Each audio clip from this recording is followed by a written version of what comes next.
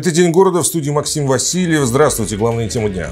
Северка почти все настало время Первомайского. В Рязани уточнили схему движения на время ремонта. Фиктивная ответственность. Уголовное дело по свалке в Турлатово ушло в суд. Поминая Иоанна Предтеча, православные отметили особенный день.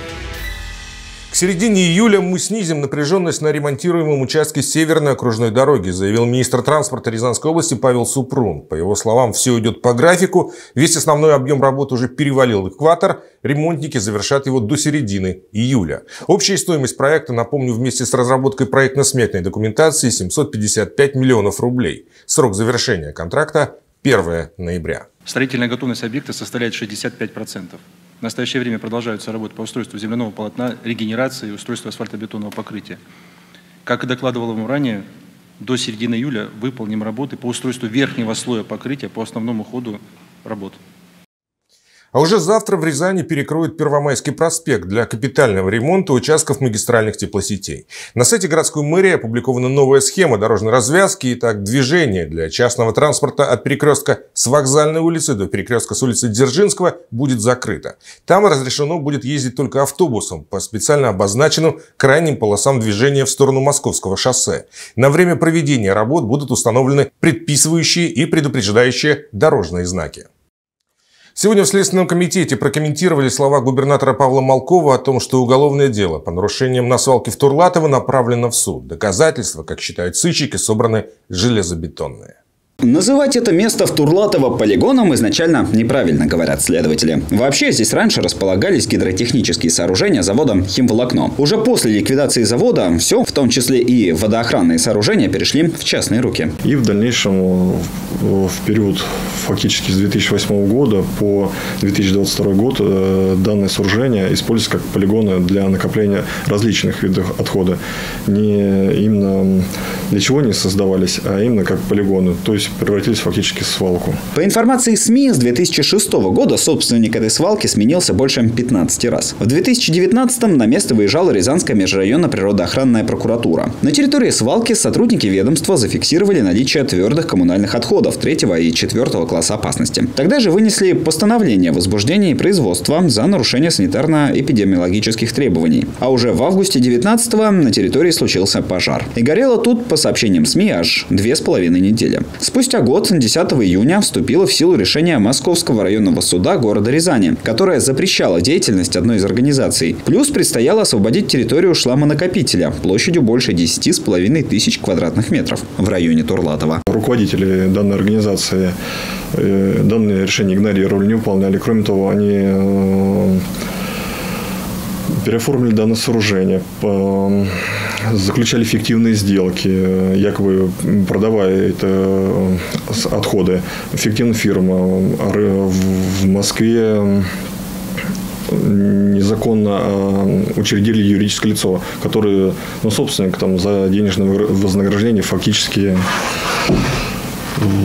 не знал, что происходит. Соответственно, фиктивные договора были составлены, якобы эти отходы были проданы. Следователи говорят, что всю свою ответственность по выполнению решения суда собственник фактически перенес на фиктивные организации. В процессе расследования все эти факты были установлены. Сейчас следствием собрана достаточная доказательственная база, в связи с чем уголовное дело с утвержденным обвинительным заключением направлено в суд для рассмотрения по существу. Руководители предприятия обвиняют в злостном неисполнении вступившего в законную силу решения суда. Максимально Максимальное наказание по статье до двух лет лишения свободы. На саму же территорию шламонакопителя наложен арест. Деятельность на полигоне запрещена. Также там посменно дежурит наряд полиции во избежание неприятных инцидентов.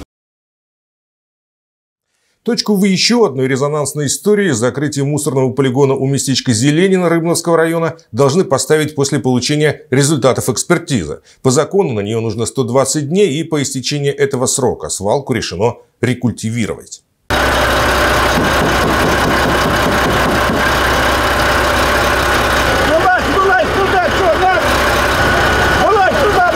Эти кадры сняла наша съемочная группа в далеком 21-м. Тогда в Зеленина машины ловили в патруле с местными жителями. Они утверждали, что мусор на полигон везут не областной, а иногородний. В доказательство номера у машин. Цифра 33, Владимирская область. Директор полигона тогда сказал, что автомобиль-то рязанский. Просто фирма машину купила, а переоформить не успела. Водители же проговорились об обратном. Вот идите сами и берите, я не пойду туда. Откуда приехали? Туда Я сейчас дежур позвоню, вас Да арестуют. и это, как, короче, там Он врет это, из-под. Москвы. Фирма там это. Ну, из Москвы. Я же говорю, вон Откуда еще вы одна С машина. Южно-Портовой улицы? А? С Южно-Портовой улицы привозите? Нет, Откуда? еще там, как она, на этой, на Рязанке. Несколько лет разбирательств, проверок и, как итог, депутатское обращение. В межрайонной природоохранной прокуратуры оно на особом контроле. В декабре прошлого года ведомство провело проверку. В настоящий момент э, завоз отходов на объект прекращен. Юридическое лицо и его должностное лицо, ранее эксплуатировавшее полигон, привлечены к административной ответственности за нарушение требований природоохранного и санитарно-экологического законодательства. По материалам природоохранной прокуратуры Следственным комитетом расследуется уголовное дело по признакам преступления, предусмотренным статьей 247 Уголовного кодекса Российской Федерации. Также прокурор обратился в суд с требованиями запретить администрации Рыбновского муниципального района и ООО «Экологическо-коммунальная организация» дальнейшую эксплуатацию полигона. Плюс по иску этот земельный участок нужно также рекультивировать. В настоящее время проводится судебная экспертиза. 7 июня верующие считают одной из самых примечательных дат в календаре. А В этот день, примерно в 850 году, голова Иоанна Крестителя была найдена и обретена в третий раз. Сложный период волнений эта христианская святыня была скрыта от верующих, но патриарху Игнатию во время молитвы было указано место, в котором хранится голова. Святыню отыскали, и она была перенесена в надежное место. Иоанн Креститель, известный также как предтеча, знаковая фигура как в религии, так и в народной культуре. Согласно Писанию, именно он крестил Христа. Рождество Иоанна Предтечи – важное событие в картине мира православного человека. Этому сюжету посвящено немало икон, и одна из них, древняя и тем еще более впечатляющая, представлена в постоянной экспозиции художественного музея. Это удивительная икона. Действительно, посмотрите, э, какой тонкий колорит.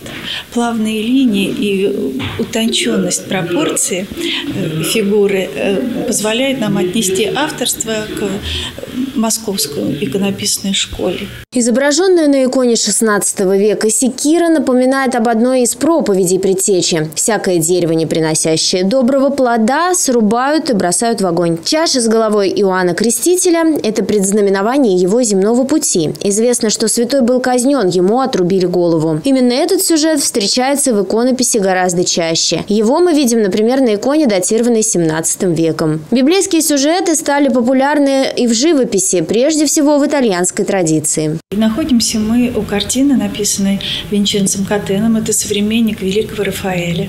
XVI век. Святое семейство. Традиционная сюжетная линия, когда святое семейство э, представляет э, Иисуса Христа, его мать Марию и ее мужа Иосифа. Но здесь вы видите, еще присутствует изображение младенца Иоанна Крестителя. А трактовка сюжета такова. Э, Пока после бегства в Египет святое семейство Иисус, Мария и Христос отдыхают на берегах Нила, э, по преданию Иоанна перенесли из пустыни туда ангелом. В руке младенца тростниковый крест, символизирующий дальнейшую миссию. Вплетаясь в культуру, искусство, становясь частью менталитета, сюжеты религии остаются неотъемлемым звеном жизни человека. Марина Романюк, Станислав Кудряшов, телекомпания «Город». В Рязанской области проходит чемпионат МВД России по служебному биатлону и легкоатлетическому кроссу. Уже завершились индивидуальные соревнования и комбинированные эстафеты среди территориальных органов и образовательных организаций ведомства. У рязанцев есть первые успехи. Для Рязанской области Всероссийская спартакиада МВД по служебно-прикладным видам спорта снова одно из самых ярких и масштабных событий этого лета. На чемпионат приехало более 600 полицейских из 58 территориальных органов МВД России со всех уголков страны. География от Курска до Новосибирска. Рязанский край богат спортивными традициями, успехами и достижениями в турнирах самого высокого уровня.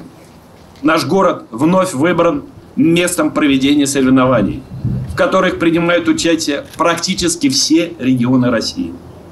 В рамках чемпионатов сотрудники различных подразделений органов внутренних дел продемонстрируют стойкость, выносливость, безупречную физическую подготовку и профессиональные навыки владения и применения огнестрельным оружием. Летний биатлон и кросс по пересеченной местности – это, конечно, дисциплины скорее не про зрелищность, а про выносливость. При этом у силовиков есть свои заслуженные мастера, как у мужчин, так и у женщин. Призер Кубка России, неоднократный победитель молодежных первенств страны, Светлана Дорофеева. Рязанка Светлана Дорофеева в итоге приносит хозяевам соревнований первую медаль – бронзовую. У мужчин доминируют представители Татарстана, но впереди еще эстафета, где у рязанской четверки тоже есть все шансы на пьедестал. И в непростой борьбе они все-таки получают право на него взойти.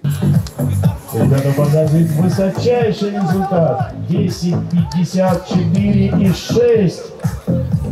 Опытнейший Алексей Каритонов завершает усилия рязанской команды, она становится бронзовой. Весь чемпионат пройдет за пять дней. Впереди у команд служебный биатлон. Снова кросс по пересеченной местности, но уже со стрельбой из пистолета Макарова на двух огневых рубежах. По итогам состязания лучших назовут не только в командном, но и в личном первенстве. По каждому виду программы. В Солочи есть родник, известный многим рязанцам, он носит имя Троицы. Об источнике нам рассказал смотритель, наблюдающий здесь необычное вот уже много лет. Очереди к роднику можно увидеть в любое время года и в любую погоду. Красивый пейзаж, огромные сосны, спокойное течение реки, вид на бескрайние луга и даже на Пощуповский монастырь. Здесь просто приятно находиться. Родник давно зарекомендовал себя. Многие специально приезжают из областного центра именно за этой водой. Знаете, я уже, наверное, лет 7 сюда ездил.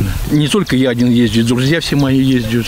Очень замечательная вода, прям вообще замечательная. Вообще пользуемся этой водичкой, потому что она святая, очень чистая, очень вкусная. Давно, не один год, лет пять, наверное, уже. Ступеньки, удобный подход к воде, скамейки. Так здесь было не всегда. Благоустройством и бережной заботой за источником много лет занимается Георгий, смотритель. Некогда он был профессиональным спортсменом и занимался единоборствами, тренировал ребят. В том числе тренировки проходили и в Солодче, в районе Лысой горы. Тогда, в начале 2000-х, Юрий Левин, такое имя носил Георгий в миру, вместе со своими воспитанниками обнаружил этот родник. Не просто так нашими руками это было все сделано, и не только нашими, и до нас кто-то пытался, и вот э, теперь тоже помогают. Постепенные шаги к тому, чтобы облагородить место и сделать удобным для людей, привели к тому, что вместе со спортсменами-воспитанниками Георгий выложил бордюры и решил установить памятный камень, чтобы ознаменовать так понравившееся место. Камень нашелся неподалеку, неподъемный, но спортсмены собрались силами и покатили к источнику. Закончили уже далеко за полночь, устали, присели отдохнуть, и в этот миг раздался раздался колокольный перезвон. Настолько нас это заворожило,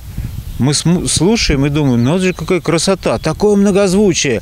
А так как здесь мы были завсегдатые, я ребятам даже такую мысль выдал. Наверное, в монастыре появился молодой новый звонарь, и вот он какие-то перезвоны разучивает потому что что-то такая красота, никогда не слышал. Лишь потом мужчинам пришло в голову, что звон колоколов ночью – это как минимум странно. А после пришло осознание, что здесь, возле родника, они втроем встретили праздник Святой Троицы. Высеченная на камне надпись сохранила дату – День Троицы, 15 июня 2003 года. Позднее Георгий узнал, что 15 июня еще и день рождения святого Александра Свирского. А вокруг родника он стал замечать очень интересные явления. Видят необычное рядом с источником и другие люди. А здесь очень много людей люди обнаружили три, три, три, три, даже тропинки сюда идут три, со стороны монастыря, со стороны Лысой горы. И вот сверху вот здесь спуск, и как стрелка прям указывает именно на это место. Да и сам источник состоит из трех родничков, которые бьют здесь, проходя очищение песками и дарят живительную влагу людям, приходящим сюда. Чудеса или воля Божья, как говорит о необыкновенных и интересных совпадениях Георгий, ясно одно. Когда человек начинает заботиться о природе и любить ее, природа отвечает тем же. Это ли не божественная основа жизни? Марина Елена Комиссарова, Михаил Лазуткин, телекомпания «Город». На этом у нас все еще больше новостей на нашем сайте www.город62.tv и на наших страничках в соцсетях. Всего доброго.